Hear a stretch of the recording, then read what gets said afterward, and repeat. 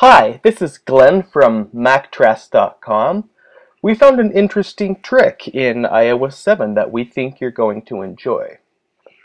As you may know, iOS 7 changes the way that you close a currently running app.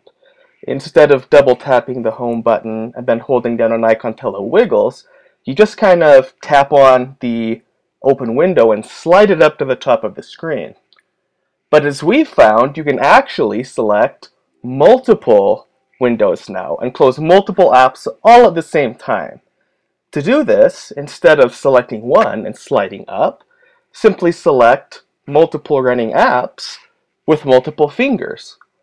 You can do up to three at a time, and they close immediately as expected.